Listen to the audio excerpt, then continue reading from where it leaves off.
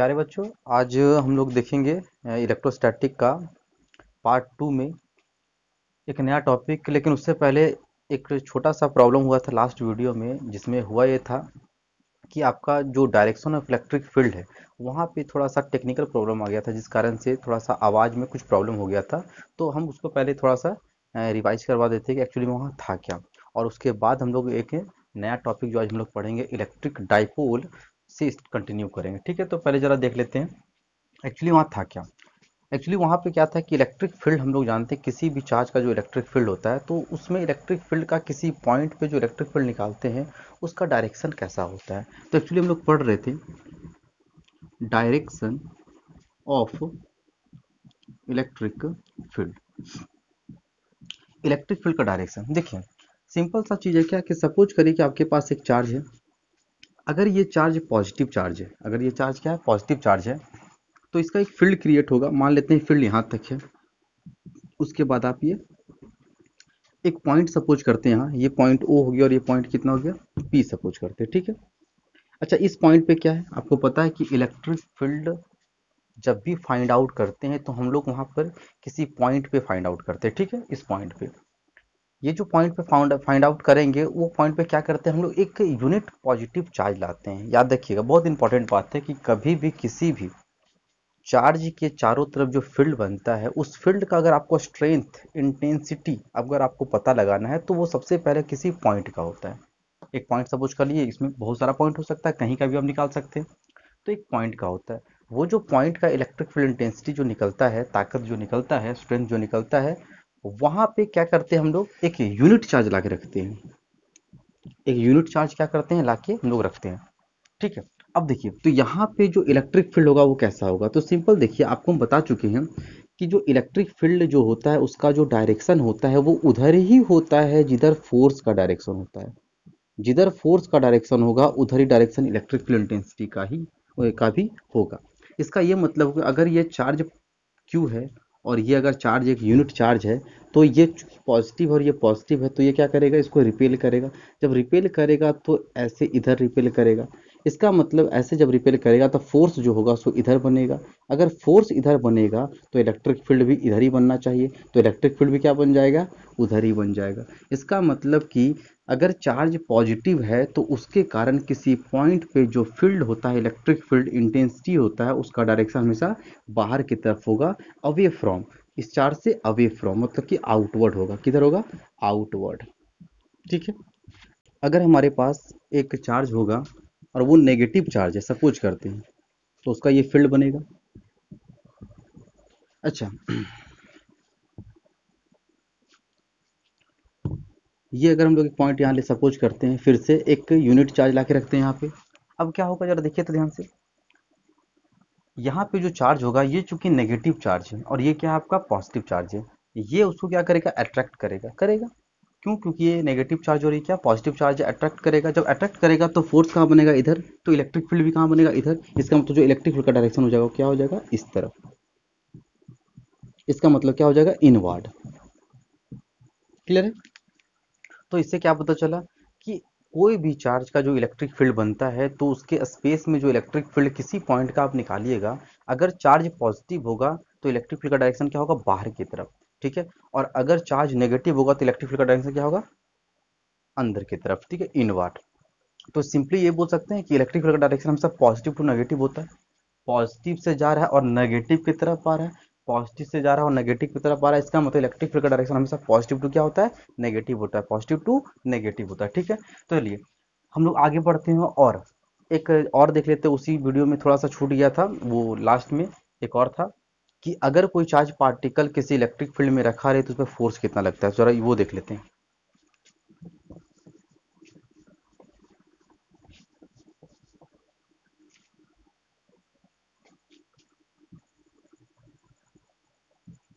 Force experienced by a charge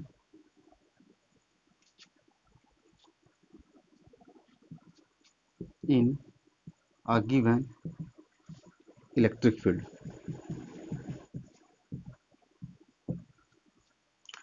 कहता क्या कि फोर्स एक्सपीरियंस बाय चार्ज एक चार्ज आपके पास है, ठीक वो चार्ज जो है उस पर कितना फोर्स लगेगा? कहाँ पे in a given electric field मतलब कि कोई चार्ज होगा, उसका एक इलेक्ट्रिक फ़ील्ड जनरेट हो गया। ठीक है सपोज़ करते हैं कि यहाँ पर फ़ील्ड है, ठीक है? और ये फ़ील्ड में इलेक्ट्रिक फ़ील्ड कितना ई है? अब इस इलेक्ट्रिक फ़ील्ड में, इस इलेक्ट्रिक फ़ील्ड में मतलब एक चार्ज था, उसका इलेक्ट्रिक फ़ील्ड बन चुका है। इस इलेक्ट्रिक फ़ील्ड में एक क्या रखा हुआ है? आपका एक चार्ज रखा हुआ सपोज़ करते हैं क्यू ठीक है? तो इस पर कितना फोर्स लगेगा? इस पर फोर्स कितना लगेगा? कहने का मतलब ऐसे भी देख सकते हैं इसको। सपोज़ करते हैं कि अगर कहीं भी एक रीजन ऐसा रीजन बना हुआ है, उसमें एक चार्ज पार्टिकल है, ठीक है? एक चार्ज पार्टिकल क्यू आ गया, ठीक है? अब ये चार्ज पार्टिकल अगर क्यू किसी पॉइंट पे रखा हुआ और ये पूरा फ़ील्ड में इलेक्ट्रिक फ़ील्ड कितना है? ई e है। तो इस पर फोर्स कितना लगेगा? तो हम लोग जानते हैं एफ़ इक्वल टू कितना होता है? ई इक्वल टू कितना होता है? एफ़ अपॉन क्यू पढ़ चुके हैं। Equal to F upon Q अगर किसी इलेक्ट्रिक फ़ील्ड में कोई चार्ज हो तो मतलब ये गिवन और ये गिवन है तो ये निकाल सकते हैं। इसका मतलब कि किसी चार्ज पार्टिकल पे फोर्स कितना लगेगा? एफ़ लगेगा। मतलब लिख सकते हैं एफ़ इक्वल टू कितना? क्यू क्लियर है? इसका मतलब कोई भी चार्ज पार्टिकल जिसका वैल्यू कुछ दिया हुआ, वो नेगेटिव हो पॉजिटिव हो कुछ भी हो, अगर उसको किसी इलेक्ट्रिक फ़ील्ड में रखेंगे तो उस पर फोर्स कितना लगता है? एफ़ इक्वल टू कितना? क्यू ही लगेगा। ठीक है? तो ये हो गया आपका, उसका जो नेक्स्ट टॉपिक जो आपका जो था जिसका साउंड थोड़ा गड़बड़ हो गया था, वो आपका क्लियर हो जाता है, ठीक है? तो हम लोग अब नेक्स्ट टॉपिक देखते हैं क्या इसका। वो हो जाएगा आपका इलेक्ट्रिक डाइपोल और वहाँ से स्टार्ट करेंगे अब डेरिवेशन वगैरह भी आगे बढ़ते हैं। तो ठीक है तो एक नया टॉपिक स्टार्ट करते हैं इलेक्ट्रिक डाइपोल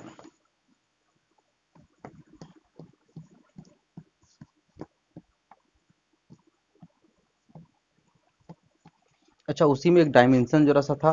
डायमेंशन में अगर कुछ आवाज़ खराब हो गया हो गया होगा तो डायमेंशन भी आप देख ही सकते। हैं dimension of electric field electric field का अगर डायमेंशन आपको चाहिए तो आप एक फॉर्मूला जानते हैं इक्वल टू कितना? एफ़ अपॉन क्यू ठीक है? किसी का भी डायमेंशन लिखने के लिए आपको क्या चाहिए?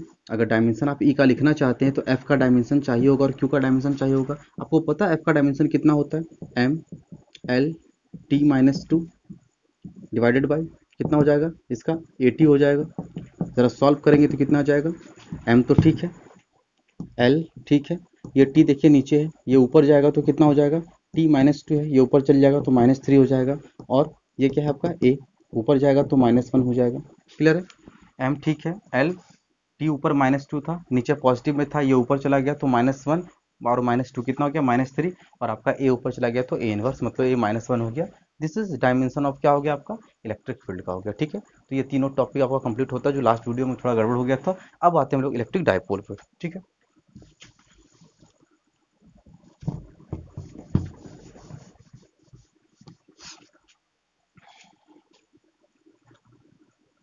इलेक्ट्रिक डायपोल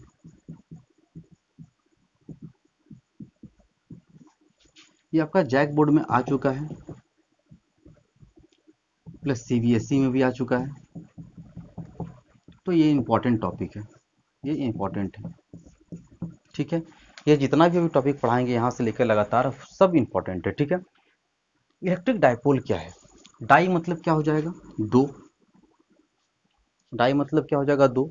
और छोर पे होता है पोल, इसीलिए पोल। और किसका? तो चार्ज का, इलेक्ट्रिक मतलब चार्ज मतलब कि दो चार्ज। कहता है कि, सपोज़ करें कि एक पॉइंट यहाँ है और एक पॉइंट यहाँ है, ठीक है? अगर ये दोनों पॉइंट पे, सपोज़ करो यहाँ एक चार्ज है क्यू और यहाँ भी चार्ज कितना है क्यू बट क्या है, एक नेगेटिव में और एक क्या है पॉजिटिव में। एक, इस पॉइंट पे एक इस पॉइंट पे, इसका नाम ए देते हैं, इसका नाम बी दे देते हैं, ठीक है? तो यहाँ पे अगर नेगेटिव में चार्ज हो और यहाँ पॉजिटिव में चार्ज हो और दोनों का अमाउंट सेम हो और ये दोनों के बीच में कुछ डिस्टेंस हो, दोनों के बीच में कुछ डिस्टेंस हो, ये जो डिस्टेंस हो, कैसा डिस्टेंस हो? फाइनाइट डिस्टेंस हो फाइनाइट फाइनाइट मतलब कुछ फिक्स होना चाहिए, ठीक है? मतलब सर्टेन तो ये जो आप सिस्टम देख रही है टोटल जो सिस्टम देख रही है तो अरेंजमेंट देख रही है दोनों चार्ज का तो इसको क्या बोलेंगे हम? इसको बोलेंगे डाइपोल कैसा? इलेक्ट्रिक इलेक्ट्रिक डायपोल, दो चार्ज का एक पोल बना दिया, ठीक है? इलेक्ट्रिक डाइपोल हो गया। अच्छा इसमें एक चीज़ ध्यान देंगे। ये जो आप देख रहे हैं, यहाँ से ये लाइन देख रहे हैं, इसमें बीच में एक सेंटर हो जाएगा। ओ, जिसको हम लोग डाइपोल का सेंटर भी कह सकते हैं। सेंटर सेंटर ऑफ़ डाइपोल अच्छा जब ये सेंटर हो जाएगा तो ये और ये, डिस्टेंस, सपोज़ करते हैं, ये ए है और ये ए है। किसी किताब में आपको डी भी दिखेगा, किसी किताब में एल भी दिखेगा, किसी में आर भी दिखेगा। वो आप पे डिपेंड करता है, आप क्या लेते हैं, ठीक है? हम ए ले लिए। तो ये टोटल डिस्टेंस कितना हो जाएगा? टू ए हो जाएगा। कितना हो जाएगा? टू ए यहाँ से यहाँ तक कितना हो जाएगा? टू ए तो ये जो टू ए आप देख रहे हैं, इस टू ए को आप बोल सकते हैं डाइपोल का लेंथ डाइपोल का लेंथ मतलब डाइपोल लेंथ कहलाएगा। डायपोल लेंथ कहलाएगा। मतलब कि दो चार्ज एक ऐसा सिस्टम एक ऐसा अरेंजमेंट एक ऐसा सजावट जिसमें दो चार्ज दोनों का वैल्यू क्या होना चाहिए? मैग्नीट्यूड सेम होना चाहिए और दोनों अपोजिट नेचर का होना चाहिए। एक नेगेटिव में तो एक पॉजिटिव में, ठीक है? और वो जब दोनों एक दूसरे से एक फाइनाइट डिस्टेंस पे होते हैं फाइनाइट डिस्टेंस पे होते हैं तब इस सिस्टम को हम लोग क्या बोलते हैं? इलेक्ट्रिक डायपोल कहते हैं। क्या बोलते हैं? इलेक्ट्रिक डायपोल ये सेम चीज़ आप केमिस्ट्री में भी देख चुके होंगे। इलेक्ट्रिक डायपोल तो यहाँ भी आपका क्या है? इलेक्ट्रिक डायपोल एक्चुअली ये इलेक्ट्रिक डायपोल जो है, वो जनरली आपको केमिकल कंपाउंड्स में दिखेंगे। ऐसे तो हर मॉलिक्यूल्स लगभग क्या होता है, आपका इलेक्ट्रिक डायपोल फॉर्मेशन करता है। जैसे एग्ज़ाम्पल के लिए S C L S C L आप देख रहे होंगे। एस सी एल में ये हाइड्रोजन हो गया, ये क्या हो गया? क्लोरीन हो गया। ये हाइड्रोजन हो गया और ये क्या हो गया? क्लोरीन हो गया, ठीक है? आपको पता है, इसमें नेगेटिव पॉजिटिव चार्ज होगा इस पर क्या होगा? नेगेटिव चार्ज होगा, ठीक है? ये इसका यहाँ से यहाँ रेडियस हो जाएगा और इसका रेडियस यहाँ से यहाँ तक इसका रेडियस हो जाएगा, ठीक है?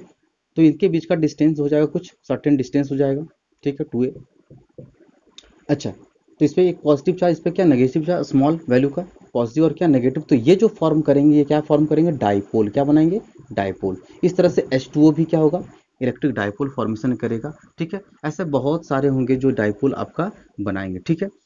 अच्छा इसके बारे में थोड़ा सा और जानकारी आपको देंगे, लेकिन थोड़ा सा आगे आपको बताएँगे कि इसके बारे में कि आखिर ये डाइपोल फॉर्मेशन होता कैसे है, ठीक है? अच्छा एक चीज़ और क्या है इसमें?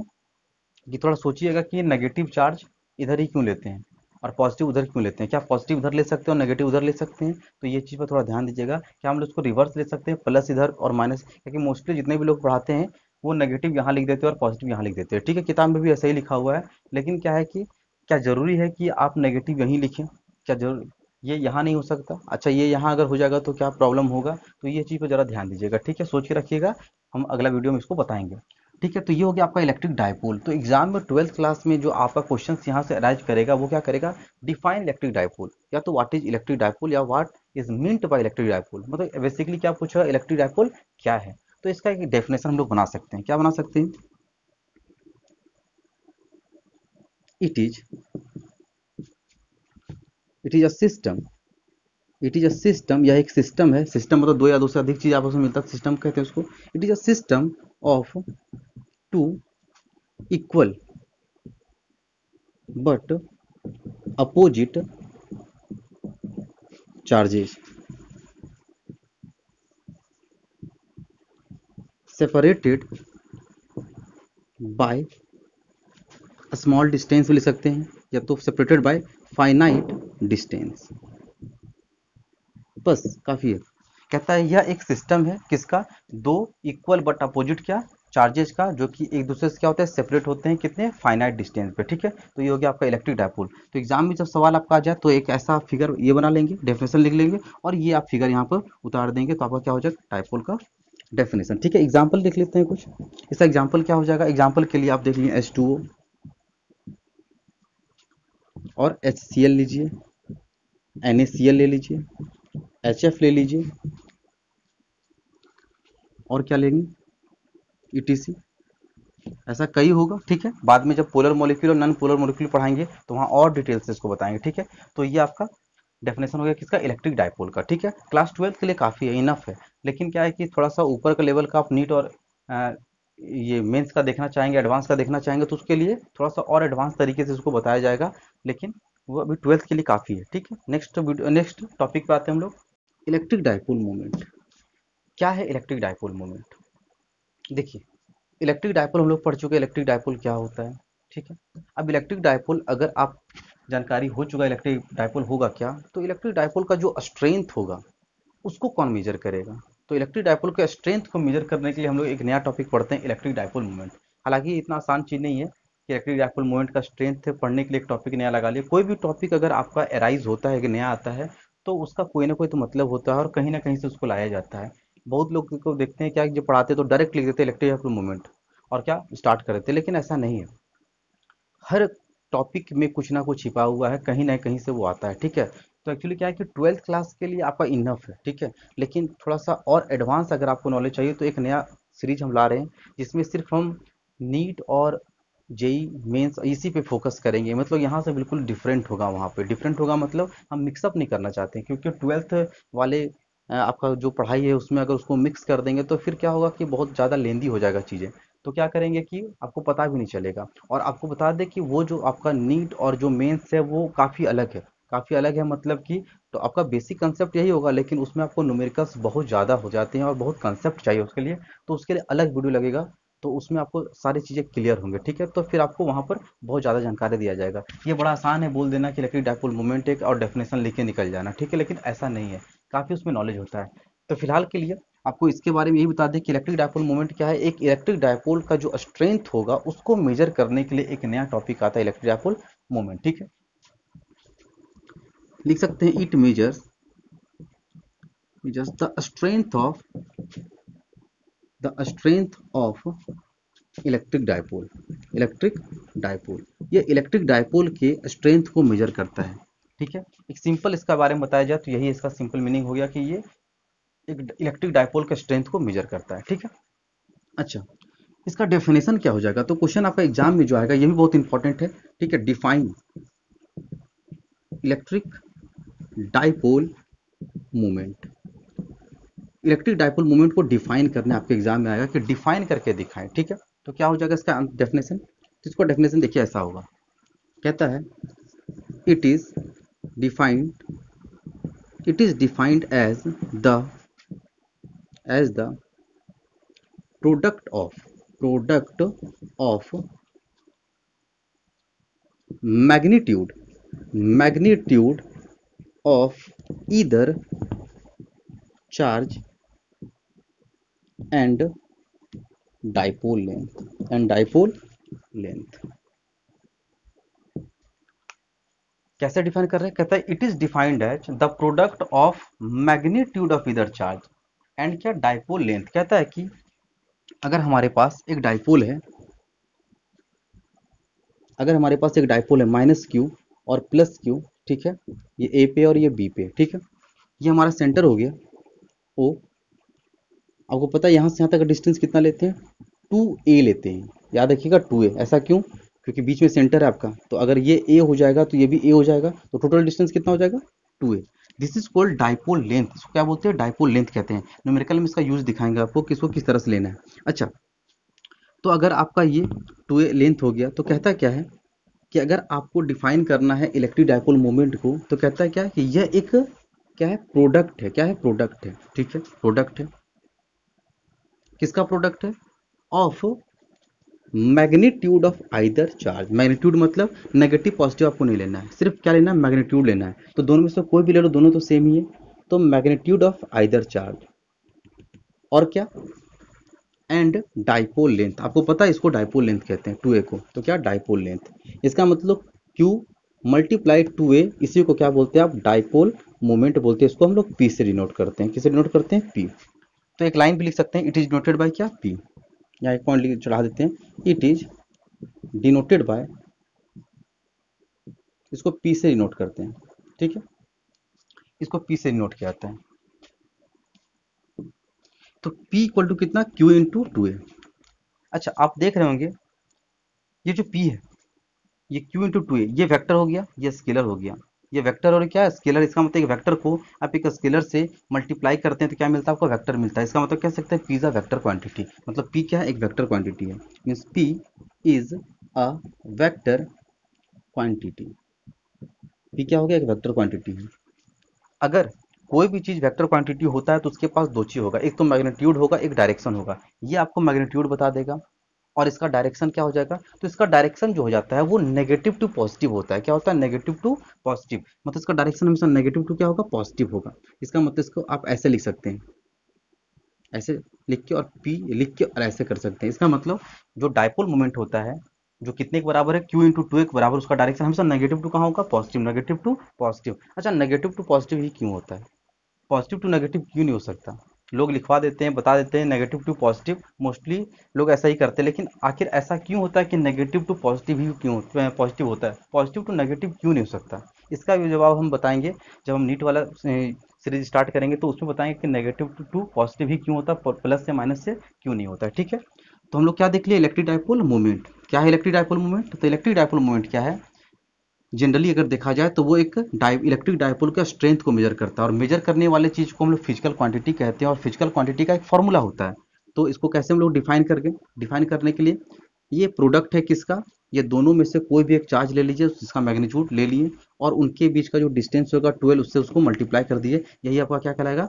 इलेक्ट्रिक डायपोल मूवमेंट ये क्या हो जाता है? वेक्टर क्वांटिटी क्वांटिटी हो जाएगा, ठीक है? अच्छा अगर ये वेक्टर क्वांटिटी हो जाएगा तो इसको हम लोग ऐसे भी लिख सकते हैं। इसको हम लोग ऐसे भी लिख सकते हैं। P इक्वल टू कितना? Q टू ए यहाँ वेक्टर का साइन दे सकते हो तो यहाँ वेक्टर हो जाएगा। ये वेक्टर होता है, ये स्केलर होता है। तो वेक्टर को स्केलर से मल्टीप्लाई करेंगे, क्या मिलेगा? वेक्टर मिलेगा। तो इस तरह से आप इसको लिख सकते हैं। ठीक है? तो it is a vector quantity अच्छा।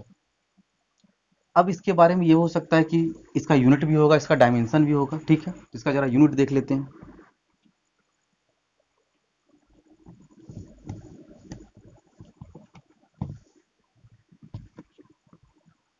इसका यूनिट क्या हो जाएगा? यूनिट ऑफ़ पी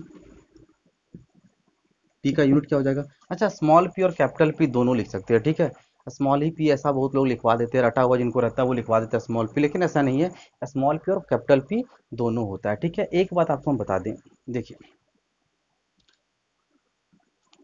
अगर आपको आगे कुछ करना है, जैसे कि नीट मेडिकल कुछ मतलब ये मेंस इंजीनियरिंग में जाना है या तो कहीं भी कुछ जाना है तो आपको एक ही बात का ध्यान देना है कंपटीशन इतना ज़्यादा बढ़ चुका है कि अब रटंत विद्या से काम नहीं चलेगा। रटंत विद्या का ये मतलब हो गया कि रट के काम नहीं चलेगा।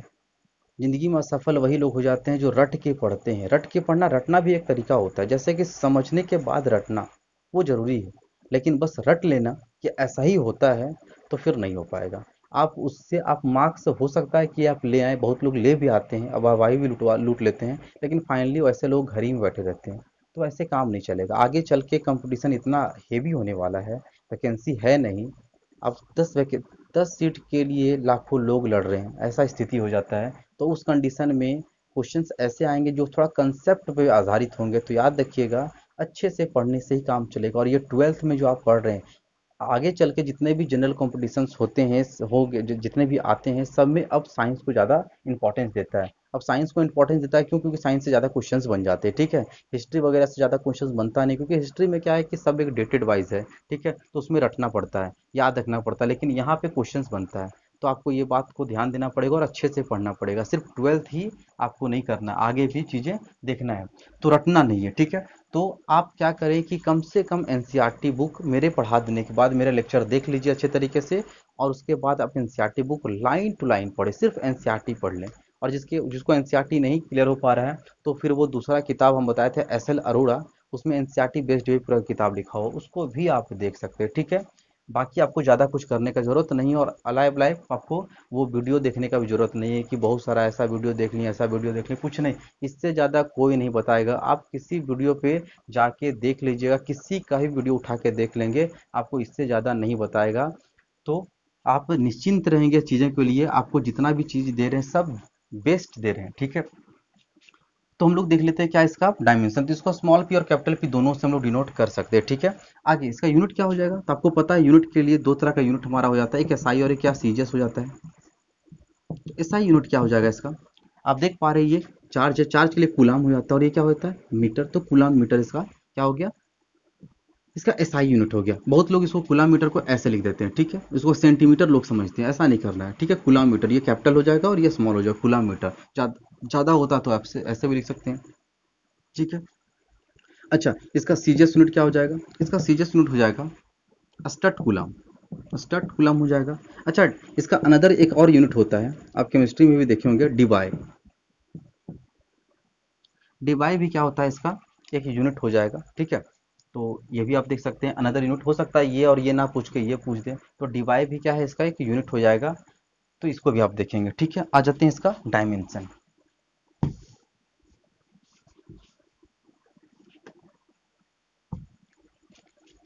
इसका डायमेंशन क्या हो जाएगा?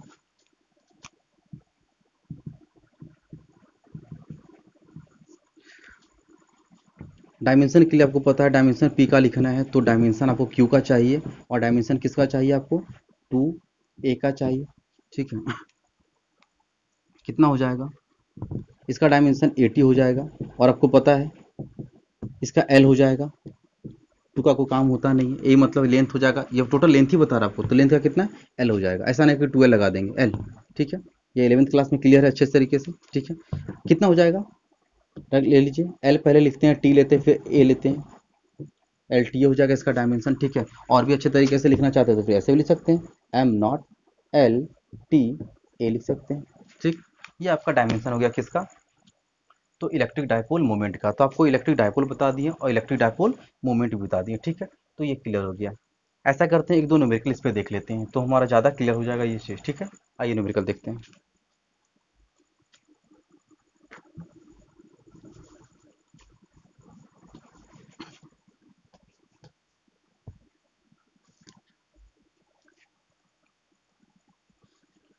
क्वेश्चन इस पर देख लेते हैं।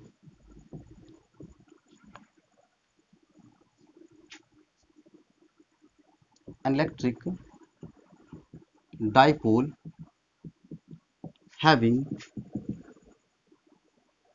two charges plus 5 millicoulomb and minus 5 millicoulomb separated by separated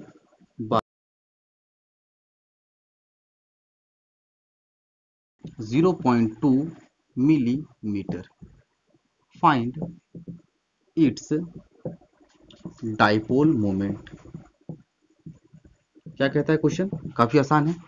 question कहता है क्या कि एक आपके पास इलेक्ट्रिक डायपोल है। पता आपको इलेक्ट्रिक डायपोल क्या होता है उसके पास दो चार्जेज है, ठीक है?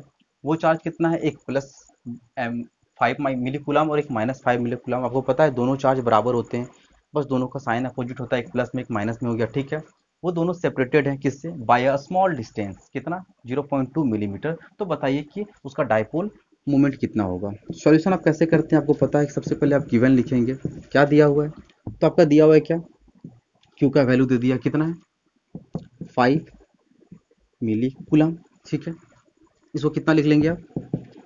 फाइव मिली मतलब ten to the power minus three coulomb आपको पता है कि एस एसआई में कन्वर्ट करते हैं। तो सिर्फ़ कुलाम होना चाहिए। लेकिन यहाँ मिली कुलाम लगा हुआ है तो आपको मिली को कन्वर्ट करना पड़ेगा और कितना करना पड़ेगा? टेन पावर माइनस थ्री लिखना पड़ेगा, चूँकि एक milli equal to ten power minus कितना होता है? थ्री होता है, ठीक है? अच्छा अब जो ये है, यहाँ फोकस करेंगे। जो डिस्टेंस होता है, जिसको हम लोग डायपोल लेंथ कहते हैं, वो डायपोल लेंथ टोटल कितना होता है? टू होता है। कितना? टू इसका मतलब कि टू का वैल्यू कितना दिया होता है? टू ए का वैल्यू दिया होता है ज़ीरो पॉइंट कितना? टू मिलीमीटर ना कि ऐसा करेंगे कि यहाँ से टू इक्वल टू इतना लिखेंगे और ए इक्वल टू फाइंड करेंगे टू को नीचे ले जाएँगे, ऐसा नहीं है। पूरा डायपोल का ही लेंथ टू ए कहलाता है, ठीक है? और वो टू ए का वैल्यू इतना दिया रहता है। बात समझ में आ गया? इसको जरा सॉल्व करिए कितना आ जाएगा। Zero point two into ten to the power कितना? माइनस थ्री और क्या? मीटर हो जाएगा। अगर इसको आप सॉल्व करना चाहते हैं और अच्छे तरीके से तो इसको two into ten to the power minus four metre लिख सकते हैं। क्लियर है ये सब? ये छोटे छोटे चीज़ आपको क्लियर होना चाहिए, ठीक है? ज़ीरो पॉइंट टू है। यहाँ से अगर इसको नीचे करेंगे, ठीक है तो कितना नीचे? टेन चल जाएगा। टेन फिर ऊपर आएगा तो माइनस में आएगा ऐड हो जाएगा, ठीक है? अच्छा नाउ अब फॉर्मूला जानते हैं आप। कितना हो जाता है formula P equal to Q into two A ठीक है? कितना हो जाएगा? क्यू कितना हो गया आपका? क्यू हो गया? ये हो गया five into ten to the power minus three into ये टू ए कितना हो गया आपका? तो two into ten to the power minus four जरा सॉल्व करते हैं इसको, कितना हो जाएगा सॉल्व करने पे? कितना हो जाएगा? फाइव टू जा टेन हो जाएगा। और कितना? टेन पावर माइनस थ्री और टेन पावर माइनस कितना? टेन पावर माइनस कितना आ गया? सेवन अगर इसको सॉल्व करें टेन पावर माइनस कितना आ गया? सिक्स और क्या हो जाएगा? कूलम मीटर और ये क्या हो गया? आपका आंसर हो गया। मतलब कि वन माइक्रोकूलम मीटर भी आप लिख सकते हैं, ये आपका आंसर हो जाएगा। ठीक है, डायरेक्शन क्या हो नेगेटिव टू पॉजिटिव फिर से देख लीजिए। चार्ज जाओ फाइव मिली कूलम आप फाइव मिली कूलम को कर लिए। Five into ten power minus three coulomb ठीक है? कितना दिया हुआ उनका डिस्टेंस 0.2 मिलीमीटर तो 0.2 point two into ten power minus three metre हो गया। मिली का मतलब टेन पावर माइनस थ्री होता है। इसको सॉल्व करते तो two into ten power minus four हो जाएगा, ठीक है? दोनों में से कोई भी एक चार्ज लेना पड़ता है तो पी इक्वल टू कितना? Q into two A Q का वैल्यू इतना यहाँ से, ठीक है? और डिस्टेंस का लेंथ कितना हो गया? इतना हो गया। सॉल्व कर दिए। फाइव टू जा टेन हो जाएगा। Ten to the power minus three ten power minus four कितना? टेन पावर माइनस सेवन हो जाएगा और ये इससे सॉल्व होगा। जो पावर यहाँ पर वन हो जाएगा तो टेन पावर माइनस सिक्स से क्या हो जाएगा? कूलम मीटर ये आपका क्या हो जाएगा? इसका ये, ठीक है? अच्छा ये तो हो गया काफ़ी आसान क्वेश्चन एग्ज़ाम में ट्वेल्थ के एग्ज़ाम में जो क्वेश्चन आपका आएगा, वो काफ़ी इजी आएगा, ठीक है? एक क्वेश्चन लोग ऐसा भी देखते हैं, जो थोड़ा सा इससे डिफरेंट है, ठीक है? A system has two charges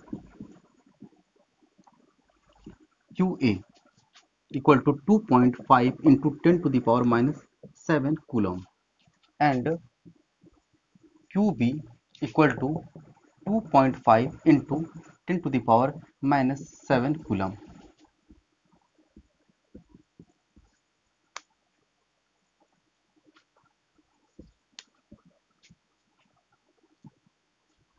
located at points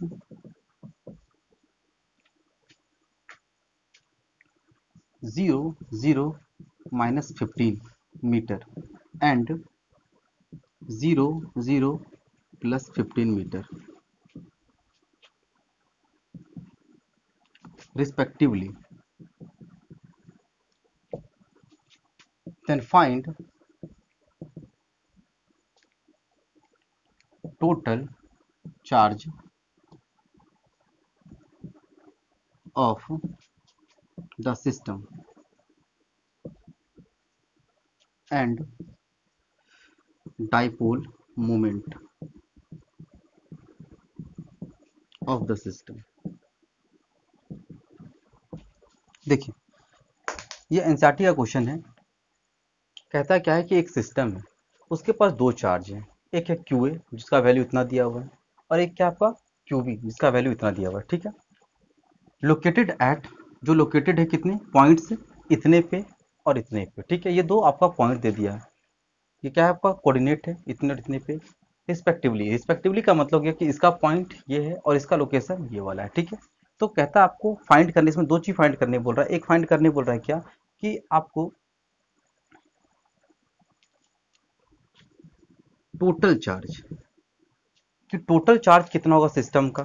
और दूसरा क्या निकालने बोल रहा है? Dipole moment of the system ठीक है सॉल्व करते इसको। ये एनसीईआरटी का क्वेश्चन है। सबसे पहले आप देखिए कि आपका यहाँ एक कोऑर्डिनेट बनेगा। एक्स वाई और जेड ठीक है? ये सेंटर हो गया। ये ऐसा क्यों बना है? क्योंकि आप देख रहे हैं यहाँ पे तीन पॉइंट दिया हुआ है। X Y Z X Y Z लेकिन आप देख रहे हैं कि ये देखें, इसको देखिए और इसको देखिए, और इसको देखिए। ज़ीरो ज़ीरो ज़ीरो आपको मिला हुआ इसका मतलब एक्स नहीं है वाई नहीं है, सिर्फ़ क्या है? जेड है। इसका मतलब अगर जेड है तो जेड क्या है? नेगेटिव में है। नेगेटिव मतलब पीछे। जेड के पीछे। ये जेड पॉजिटिव अगर हो गया तो ये नेगेटिव जेड के पीछे हो जाएगा।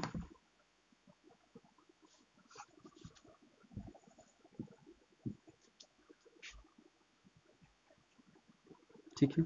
माइनस जेड जेड के पीछे वाला माइनस जेड हो जाएगा, ठीक है? तो कितना ज़ीरो ज़ीरो और ज़ीरो, ठीक है? इसका मतलब कि एक पॉइंट यहाँ आपको मिलेगा, जो कितना हो जाएगा? जिसमें एक्स नहीं है वाई नहीं है, सिर्फ़ क्या है? जेड है, और वो भी कितना? माइनस फिफ्टीन ठीक है? एक देखिए आप, ज़ीरो ज़ीरो ज़ीरो, ये पॉजिटिव हो जाएगा। ये पॉजिटिव वाला है तो कितना हो जाएगा?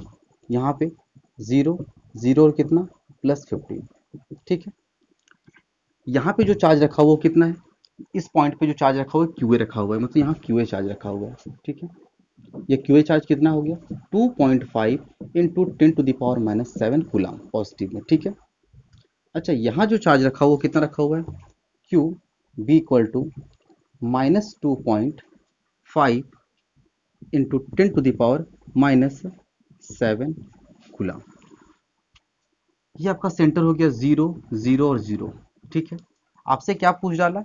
सबसे पहला क्या? कि टोटल चार्ज कितना होगा सिस्टम का? अच्छा टोटल चार्ज कितना होगा? आप देख रहे हैं कि ये और ये दोनों का वैल्यू सेम है।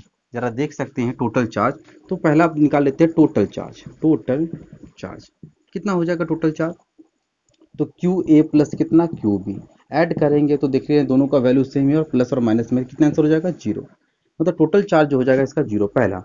दूसरा क्या पूछ डाला आपसे? डायपोल मोमेंट आपको पता है डायपोल मोमेंट इक्वल टू कितना है? आइदर चार्ज इनटू उनके बीच का डिस्टेंस ठीक है?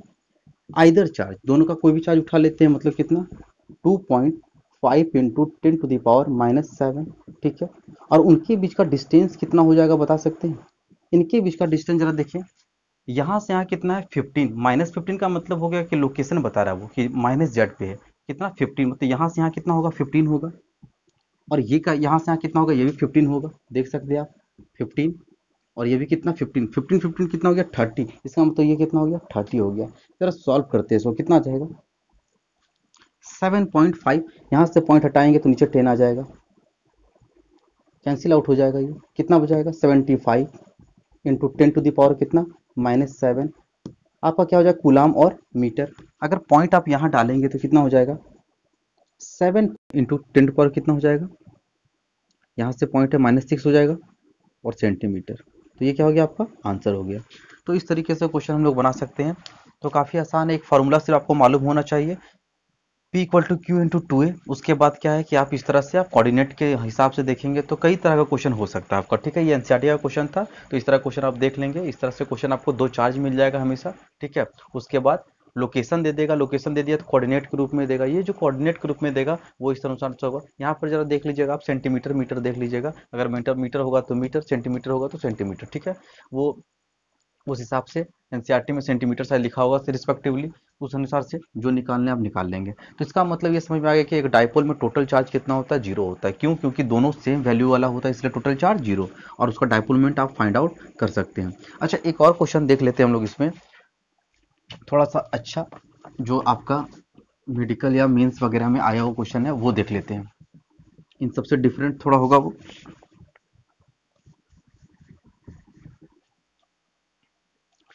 कहता है क्या find dipole moment find dipole moment जैसे सपोज़ करते हैं यहाँ पे एक चार्ज है माइनस टू क्यू और एक चार्ज यहाँ पे आपका प्लस क्यू। और एक चार्ज आपका यहाँ है, प्लस क्यू, ठीक है? इसके बीच का डिस्टेंस है ए और इसके बीच का डिस्टेंस है और इसके बीच का एंगल है सिक्स, वन ट्वेंटी डिग्री। आपको बताना है इसका डायपोल मोमेंट कितना होगा। इसका डायपोल मोमेंट कितना होगा? थोड़ा सोचिए इसके बारे में और कोशिश कीजिए बनाने का इसको। देखिए, आपको पता है कि डाइपोल कैसे बनता है? इक्वल एंड अपोजिट चार्ज से। इक्वल एंड अपोजिट चार्ज ठीक है? और उनके बीच में कुछ डिस्टेंस होना चाहिए। तो अगर हम इसको अगर ऐसे लिख दें माइनस क्यू और माइनस क्यू तो ऐड करेंगे तो वापस इतना आ जाएगा। अच्छा ये वाला और ये वाला एक डाइपोल फॉर्मेशन कर देगा और ये दोनों मिलकर एक डाइपोल फॉर्मेशन कर देगा। अच्छा आपको पता है कि डाइपोल का जो डायरेक्शन होता है, वो नेगेटिव टू पॉजिटिव होता है, इसके लिए ऐसे हो जाएगा। और इसके लिए ऐसे हो जाएगा। ठीक है? अच्छा minus Q plus Q distance कितना ए तो जितना मोमेंट ये होगा, उतना ही मोमेंट ये भी होगा, क्योंकि दोनों सेम है। अच्छा तो रिज़ल्ट कहाँ बनेगा? आपको पता है कि दोनों वेक्टर क्वांटिटी है। ये भी वेक्टर होता है और ये भी क्या होगा? वेक्टर होगा। तो ये जो वेक्टर क्वांटिटी है तो वेक्टर को ऐड कैसे करते हैं? नॉर्मल तरीके से नहीं करते हैं। वेक्टर का वेक्टर तरीके से ऐड करते हैं। तो इन दोनों का रिज़ल्ट कहाँ मिलेगा? कहीं बीच में ऐसे मिलेगा। ठीक है? ये जो रिज़ल्ट आपको मिलेगा, यही आपको क्या मिल जाएगा? डाइपोल मोमेंट टोटल वाला, जो फाइंड आउट करेंगे। तो जरा देखो तो। अगर इसको लोग फाइंड आउट करते तो कितना हो जाएगा? P इक्वल टू मतलब P टोटल इक्वल टू कितना हो जाएगा? रूट अंडर कितना? वही फॉर्मूला आर इक्वल टू जो पढ़ा करते थे हम लोग रूट अंडर कितना? A square plus B square plus कितना? टू ए बी और कितना? कॉस थीटा पढ़ते थे। तो इसका डायपोल मोमेंट कितना आ जाएगा पी इसका डायपोल मोमेंट कितना आ जाएगा पी ठीक है? तो रिजल्टेंट कहाँ निकलेगा? तो इसका डायरेक्शन ऐसे है, इसका डायरेक्शन ऐसे है तो इसका डायरेक्शन बीच में निकलेगा, इनके बीच में कहीं निकलेगा, ठीक है? अच्छा जब इनके बीच में निकलेगा, इनका एंगल भी देख लीजिए 120 डिग्री है, ठीक है? तो तो चूँकि ये वेक्टर है तो इसका मैग्नीट्यूड निकाल लेते हैं। मैग्नीट्यूड कितना हो जाएगा? पी टोटल इक्वल टू कितना? पी का स्क्वायर पी का स्क्वायर ठीक है? प्लस कितना? टू पी मल्टीप्लाई पी ठीक है? इंटू कितना? कॉस थीटा कॉस कितना? 120 डिग्री हो जाएगा। जब इसको सॉल्व करिए आगे, कितना हो जाएगा? टू पी स्क्वायर प्लस कितना? टू पी के स्क्वायर और इंटू कॉस 120 का वैल्यू कितना हो जाएगा? कॉस 120 का वैल्यू हो जाता है आपका माइनस वन बाई टू ठीक है? याद रखेंगे? माइनस वन बाई टू तो कितना? Minus one by two cancel out करिए, कितना आ जाएगा? रूट अंडर कितना हो जाएगा इधर आपका? ये माइनस हो जाएगा टू पी स्क्वायर। माइनस कितना पी स्क्वायर? तो कितना आ जाएगा रूट अंडर पी स्क्वायर मतलब कितना आ गया पी। इसका मतलब जो resultant magnetic field dipole moment निकला, वो कितना निकला? पी निकला। कितना निकला? पी निकला, ठीक है? अच्छा ये जो पी निकला, इसको आप दूसरे तरीके से भी लिख सकते हैं। आपको पता है कि पी का वैल्यू कितना हो जाएगा? आप पढ़ चुके हैं, पी इक्वल टू कितना होता है? आइदर चार्ज इंटू उनके बीच का डिस्टेंस। तो यहाँ डिस्टेंस कितना है? ए है। मतलब क्यू है। इसका मतलब कि जो आपका आंसर आएगा, पी टोटल अगर ऑप्शन में सिर्फ़ पी लिख के छोड़ दिया होगा तो ऐसे करेंगे, नहीं तो फिर ऐसे भी कर सकते हैं। पी टोटल इक्वल टू कितना कर सकते हैं? इसका वैल्यू कितना हो जाएगा? क्यू इंटू ए तो ये आपका आंसर हो जाएगा। तो इस तरह का क्वेश्चन आपको देखने को मिलेगा अच्छे अच्छे एग्ज़ाम में। इस रिजल्टेंट ठीक है? तो ये आपका समाप्त होता है। डायपोल मोमेंट मतलब पूरा डायपोल इलेक्ट्रिक डायपोल कंप्लीट हो गया। अब इलेक्ट्रिक डायपोल का जो मोमेंट है वो कंप्लीट हो गया। उसका तीन न्यूमेरिकल हम लोग देख लिए। अब क्या है कि इस पे आगे इसके पढ़ेंगे हम लोग कि एक डायपोल का फ़ील्ड कैसा हो।